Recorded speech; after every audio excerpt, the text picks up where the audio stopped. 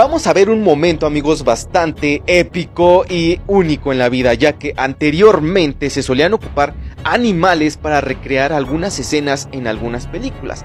Hoy día ya no se suele usar animales reales para recrear este tipo de escenas porque ya hay mucha más tecnología y se pueden utilizar efectos especiales. Bueno, pues vamos a ver este épico momento amigos donde se puede apreciar cómo dos caninos de la raza grandanés confrontan al parecer a un tigre porque el tigre trataba de cazar a la familia de los perros grandanés. Así que presten mucha atención a este video. Ahí se puede apreciar amigos cómo estos perros grandanés se van directamente sobre el tigre. El tigre reacciona, trata de defenderse, pero ahí dan a entender que los grandanés son más poderosos que el tigre, lo cual en la realidad es totalmente falso porque dos perros de esta raza, aunque son grandes o son de raza gigante, no podrían absolutamente hacerle nada a un poderoso tigre y mucho menos de esas dimensiones de las cuales se aprecia en el video.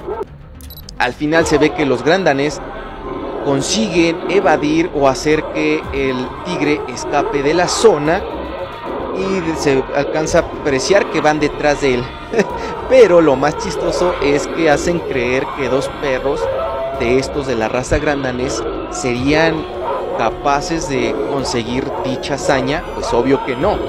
Es más que obvio que es una película, es algo ficticio y lo hacen creer así, de que estos dos perros fueron capaces de disuadir y evadir una confrontación o algo que iba hacia la familia de los perros, ¿no? Pero es más que obvio que esto es pura fantasía, pero es emocionante ver cómo se hacían las escenas anteriormente donde se usaban animales. Y bueno amigos, ¿ustedes qué opinan? ¿Qué piensan sobre este video? Eh, ya saben, no duden en comentar y debatir este video donde dos grandanes supuestamente son más poderosos que un tigre.